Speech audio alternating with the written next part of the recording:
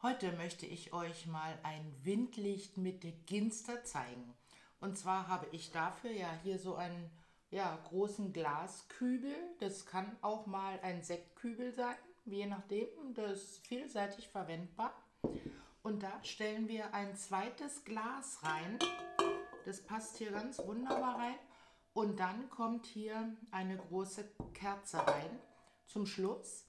Und vorher möchte ich aber hier diesen Rand, der ja dann noch frei ist, möchte ich gerne mit euch mit Ginster füllen.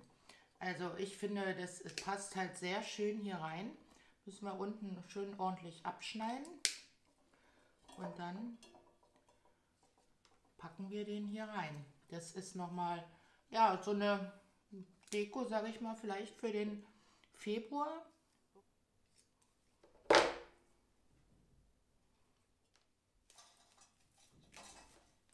Hier oben vielleicht noch ein bisschen ab, was da so übersteht. Gucken wir gleich mal, wie das aussieht.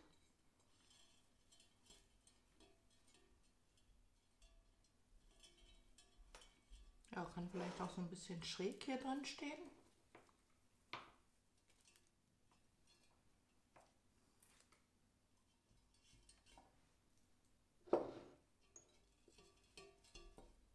So sieht es jetzt mal von Namen schon mal aus. Finde ich schon wirklich ganz schön.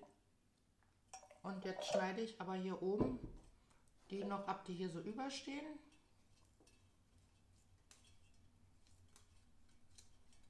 Die können dann eigentlich ja da noch mit rein.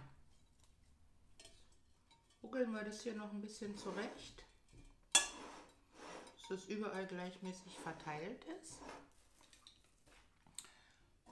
Ja, dann kommt natürlich hier außen rum in den Kreis noch ein bisschen Wasser, damit es auch möglichst lange hält.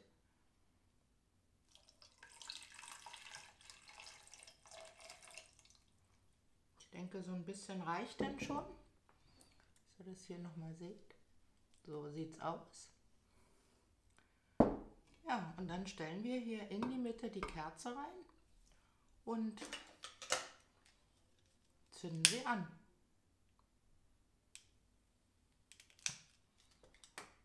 Ja, so sieht's aus. Wollte ich euch mal zeigen. Und da kann man natürlich auch, ja, wer jetzt, ich mag Ginster auch sehr gerne, gerade jetzt zu der Jahreszeit. Ja, da passen natürlich alle möglichen Gräser rein. Also das müssen schon, je nachdem wie groß das Glas in der Mitte ist, müssen es natürlich schon ein bisschen kleinere, zartere Blüten sein und kleine Ästchen.